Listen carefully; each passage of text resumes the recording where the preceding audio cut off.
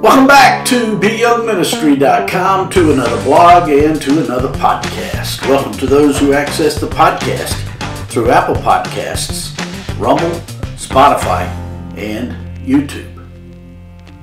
Today we continue in our study of the book of Genesis.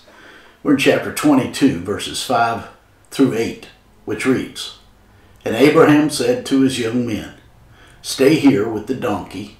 The lad and I will go yonder and worship, and we will come back to you. So Abraham took the wood of the burnt offering and laid it on Isaac his son. And he took the fire in his hand, a knife, and the two of them went together. But Isaac spoke to Abraham his father and said, My father. And he said, Here I am, my son. Then he said, Look, the fire and the wood, but where is the lamb for a burnt offering? And Abraham said, My son, God will provide for himself the lamb for a burnt offering. So the two of them went together. That's Genesis chapter 22, verses 5 through 8. Today we continue our study of Genesis 22, where God has ordered Abraham to take his son Isaac up Mount Moriah, the very place where Solomon built the temple. It was also on Mount Moriah that the Lord Jesus was offered up as a sacrifice for our sin. At this point in the narrative, about 20 years have elapsed between Genesis 21 and 22. We last saw Abraham in a tent by the well at Beersheba in the wilderness with his son Isaac. There he built an altar and worshiped God. For 20 years of blessing and happiness, Isaac had been the delight of his parents' hearts. True to his name, he had brought laughter into their lives. Out of nowhere and suddenly, like a thunderbolt from the sky, came the word from the Lord for Abraham to sacrifice his son, whom he loved most dearly. In verse 5 of today's passage, we read And Abraham said to his young men, Stay here with the donkey. The lad and I will go yonder and worship, and we will come back to you. The faith of Abraham and the God of the Bible was yet again confirmed here when he said to his servants that he and Isaac would both return to them, even though God had told him to offer up Isaac as a burnt offering. Abraham, after all these years of walking with God, was convinced that the two of them would return to the servants who had remained at the foot of the mountain. According to Hebrews 11:19, Abraham had concluded that even if Isaac died, he would be raised from the dead. Abraham stood on the promise that God had long made to him in Genesis chapter 17 and verse 19 and in Genesis chapter 21 and verse 12. God had promised that Isaac would live and have descendants. But at this point in Isaac's life, he wasn't even married, much less a father. No matter what Abraham did to Isaac, he knew he would live because Abraham had been convinced of the righteousness of God through the many years he had walked with God. This kind of faith that does not come overnight.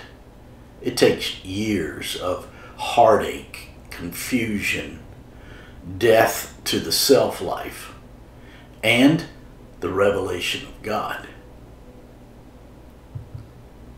In verse 6 of today's passage, we read So Abraham took the wood of the burnt offering and laid it on Isaac his son.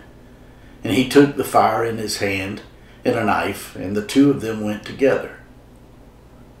The first time that the words love and worship appear in the Bible is right here in this chapter. This observation underscores the principle that what we love we worship and what we worship we love. These two words also bring attention to the fact that the first time the word love is used in the Bible reminds us of the Father's love for his Son. In Genesis 24, we will see that the second time the word love is used is of the Son's love for his bride. The wood represented both the cross of the Lord Jesus and our sin. In Isaiah 53, we learn that God placed our sin on the Lord Jesus. It was the heaviest burden he carried up that hill, much heavier than that of Abraham. And the wood was the fuel for the fire of God's wrath upon our sin. God's wrath is the absence of his love. God's wrath is what we meet when we have been cast out of his presence. And that's what our sin has done to us cast us out of God's presence. Our sin has either been mitigated through the crucifixion of his Son, the Lord Jesus Christ, or it will be the object of the very wrath of God in the end the fire and the knife that was carried by Abraham up that mountain was also represented in Isaiah 53, where we read, Yet it pleased the Lord to bruise him. He has put him to grief. When you make his soul an offering for sin, he will see his seed. He shall prolong his days, and the pleasure of the Lord shall prosper in his hand. This plan, the sacrifice of the Lord Jesus, was set in motion at the foundation of the world, according to the book of the Revelation. And it was the Father who determined it would be accomplished. What Abraham prefigured here is the greatest act in all of history. God the Father pouring out his wrath for the sin of all mankind on his own Son. In verses 7 and 8 of today's passage, we read, But Isaac spoke to Abraham his father and said, My father. And he said, Here I am, my son. Then he said, Look, the fire and the wood, but where is the lamb for the burnt offering? And Abraham said, My son, God will provide for himself the lamb for a burnt offering. So the two of them went together. God's ways with us are such that it often seems as though his deliverance will never be realized by us. But as we move forward in our walk with him, when we get to the mountain, his deliverance will be provided. Man's disappointments are God's appointments. It is never too late for God. Even if Abraham had to carry the bloody business through to its very end. Nevertheless, his father's heart was quiet in restful peace because he knew God would raise his son from the dead. Isaac asked the obvious question, and Abraham knew the correct answer because he had seen and experienced for himself God and his power firsthand. For Abraham, the price for these types of experiences with God had been very great. It had to be. It had to be that way because it is only in utter darkness do we see the very heart of God the best. As Isaac stood before his daddy, Abraham was reminded that God is true to his promise. In his mind, Abraham knew that God was to be the burnt offering. So often in our walk with the Lord, we are frightened by the possibilities that God has in store for us. We, in most cases, cannot know in advance what God will do. We must trust that He will do what is right even when it seems impossible. I am sure Abraham struggled with this as he walked up Mount Moriah that day with his son whom he loved. Undoubtedly, that day, as Abraham walked up the mountain with his son, he was learning that Isaac was an expressive type of the coming Messiah. Every other sacrifice that had been offered from the foundation of the world had been those chosen and offered by men. But Isaac was asked for by God, and so this pointed them forward to the true Lamb provided by God. The Lord asked Abraham to do something unimaginably difficult.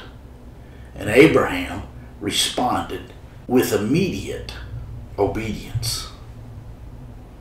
Nowhere does the New Testament connect the sacrifice of Isaac to the death of the Lord Jesus on the cross, but it does clearly connect it to his resurrection. This true story between a son and his dad very clearly teaches us that the kind of faith that saves us is the type of faith that is resurrection faith.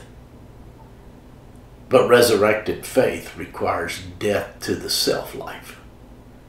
We do not experience resurrected life without resurrected faith. And we do not get to resurrected faith without turning our backs on the will that is contrary to the will of our Heavenly Father. My friends, I trust this blog and this podcast are helping you in your walk with the Lord. If I can be of further assistance to you, shoot me an email at byoungministry at gmail.com. Hey, have a great day.